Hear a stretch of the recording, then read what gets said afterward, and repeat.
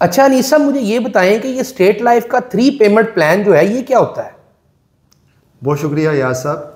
जैसे हमारा endowment plan है जिसके बारे में आपको पता है कि वो ट्वेंटी ईयर्स का है या जितनी भी मुद्दत का प्लान लेते हैं उसकी अदायगी जब आपकी मुकम्मल होती है तो मेच्योरिटी पे आपको इकट्ठी रकम मिल जाती है। बिल्कुल ऐसे ही। या कबल अज वक्त खुदा ना आस्ता अगर डेथ हो जाए पॉलिसी होल्डर की तब उसके वसा को रकम मिल जाती है। सही।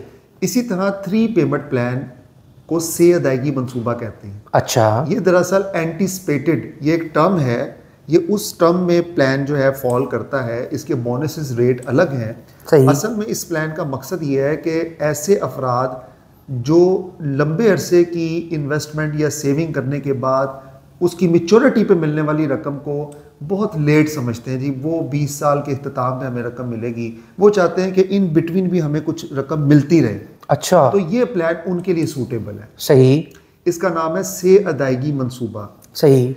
ये मंसूबा आपको तीन दफ़ा रकम फ्राहम करता है। अच्छा। और इसकी टोटल मुद्दत का दौरानिया इतने सालों पे मुहित होना चाहिए जिसको आप तीन पे डिवाइड कर सकें। अच्छा अच्छा। मतलब जैसे 18 साल। 18 साल 12 साल 15 साल 9 साल। लेकिन एंटिसिपेटेड प्लान जो से अदायगी मंसूबे की अगर हम बात करें तो ये स्टार्ट होता है 18 साल से। अच्छा अच्छा। कम से कम 18 साल। जी 18 21 24 सही। सताईस। सत्ताईस और तीस। ठीक है। अगर आप सत्ताईस की बात करें तो उसको तीन पे डिवाइड करेंगे तो नौ नौ साल की टर्म आएगी। सही। अठारह को तीन पे डिवाइड करेंगे पहले छठे छः छः साल की। फिर छह साल बाद फिर आखिरी छह साल यानी कंप्लीट अठारह साल की मुद्दत मुकम्मल होने पे। ठीक है। अगर हम बात करें इक्कीस साल पॉलिसी की तो पहले सात साल ठीक है फिर सात साल।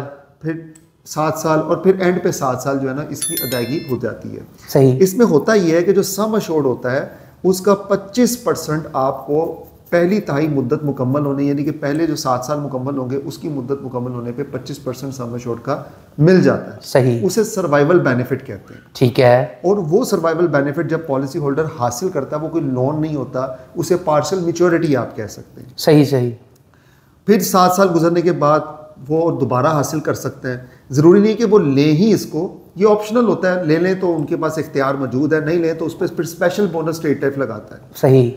और ये बात मैं बताता चलूँ कि जब आप फ़र्स्ट दहाई में जो 25 परसेंट ले लेते हैं ठीक और है खुदा ना खास्ता आठवें नौवें साल में अगर कोई मिसहैप हो जाता है तो फिर हम जो आपने लिया होता है पॉलिसी होल्डर ने वो डिडक्ट नहीं करते हम पूरा सम मशोर अदा करते अच्छा मतलब इसमें पच्चीस परसेंट जो है वो फिर बचत ही कंसिडर हुई। बिल्कुल। और ये प्लान तब बहुत ज़्यादा मौजू था जब बैंकिंग चैनल के रेट्स जो है ना रिटर्न के बहुत अच्छे थे। अच्छा। लोग क्या करते थे उस रकम को हासिल करने के बाद या तो अपनी ज़रूरत को पूरा कर लेते थे या उसी रकम को दोबारा री इन्वेस्ट कर देते थे। सही। बैंक में इन्वेस्ट कर देते थे। बैंक में या किसी भी ऐसे इंस्टीट्यूशन में जहाँ पे उसकी रकम मजीद मल्टीप्लाई हो जाती है। सही सही सही। मिसाल के तौर पर अगर आप 20 लाख का सामाशोर लेते हैं 21 साल की मुद्दत है। सही। सातवें साल में आपको 20 लाख का 25 परसेंट कितना होता है? पाँच लाख। सही। वो आपको मिल गया। ठीक है। अब उस पाँच लाख को अगर आप इस्तेमाल कर लेते हैं अपनी ज़रूरत पूरी कर सक, कर सकते हैं तो कर लें। ठीक है। अगर आप उसको री इन्वेस्ट किसी ऐसी जगह पे कर देंगे जहाँ पे दस साल में वो मजीद ग्रो कर जाए। या हमारा छः साल वाला प्लान है जिसमें पाँच साल पाँच लाख आप देते हैं वो छः साल बाद दस लाख हो जाता है। सही। तो आप अपनी रकम को मैनेज कर सकते हैं ऐसे। सही सही सही सही। तो इसकी तफसीलात हासिल करने के लिए आप स्क्रीन पर नज़र आने वाले नंबर पर रब्ता कर सकते हैं। ठीक है। ताकि हम आपको कस्टमाइज प्लान जो है वो डिज़ाइन करके दे सकें। अनीस साहब बहुत शुक्रिया। अनीस भाई मेरी बात सुने। ये देखें पैसा आनी जानी चीज़ है। अनीस भाई अल्लाह ताला ना नीयतों से वाकिफ़ है। सही है ना? ये पैसा ये सब सब कुछ इधर ही रह जाएगा। सही है ना?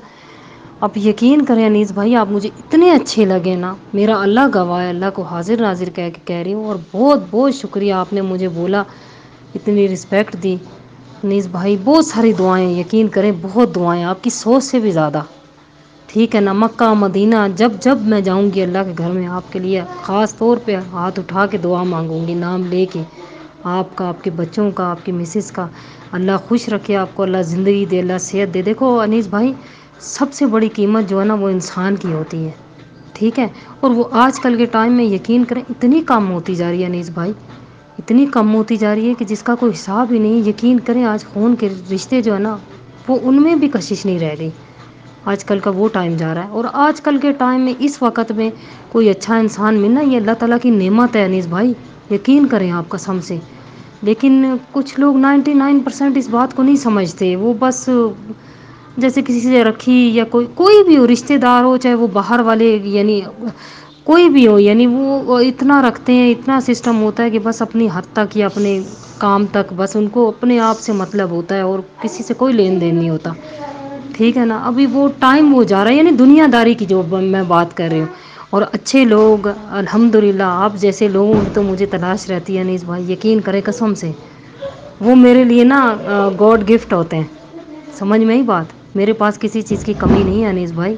बस आप जैसे लोगों की कमी है। वो अल्लाह ताला पूरी कर दे किसी सूरत में भी। दोस्त की सूरत में, भाई की सूरत में, बहन की सूरत में, माँ की सूरत में। इसीलिए मुझे तलाश रहती है आप जैसे अच्छे लोगों की। समझ आई? बस इतनी सी बात है। आगे आप खुद समझदार हैं। माशाल्लाह पढ़े लिखे भी हैं। आपके पास तो मेरा ख्याल है मुझसे भी बहुत ज़्यादा नॉलेज है। और अनीस भाई, जो आपने मुन्नी का काम करवाया और जो करवा रही हैं, इंशाल्लाह इंशाल्लाह, अल्लाह से उम्मीद है कि हो जाएगा। अनीस भाई, आपके लिए तो इतनी दुआएँ हैं ना, कसम से आप यकीन करें कि आपकी सोच से भी ज़्यादा। अल्लाह ताला, मैं कहती हूँ, आपको गर्म हवा भी ना लगे कसम से। मैं आप जब जब मक्का जाऊँगी ना अनीस भाई, आपका नाम लेके दुआ करूँगी।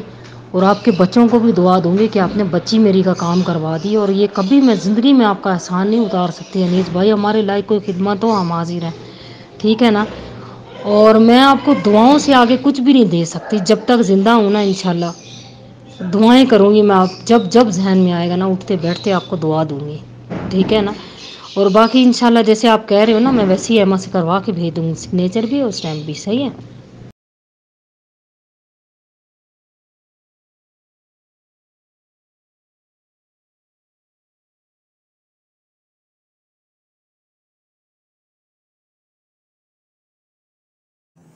अस्सलाम वालेकुम।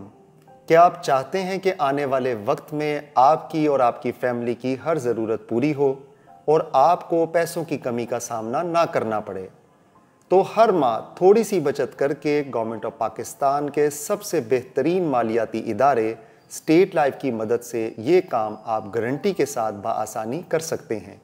आप पाकिस्तान में हैं या पाकिस्तान से बाहर, अपने महफूज मुस्तबिल के लिए अभी कॉल या व्हाट्सएप पर रबता करें। शुक्रिया। क्या आपको मालूम है कि स्टेट लाइफ इंश्योरेंस की हर पॉलिसी पे हुकूमत पाकिस्तान जमानत देती है? और ये जमानत की शिक आपकी पॉलिसी की दस्तावेज़ पे मौजूद है। और आप इस तराशे में भी मुलायजा कर सकते हैं। वफाकी हुकूमत लाइफ इंश्योरेंस नेशनलाइजेशन ऑर्डर्ड मुजरिया उन्नीस सौ बहत्तर की दफ़ा आर्टिकल 35 के तहत इस पॉलिसी में दर्ज करदा जर बीमा बाशमूल ऐलान शुदा बोनसिस अगर कोई हो नगद अदा करने की जमानत देती है। आपके मुस्तबिल की मुहाफिज State Life Insurance Corporation of Pakistan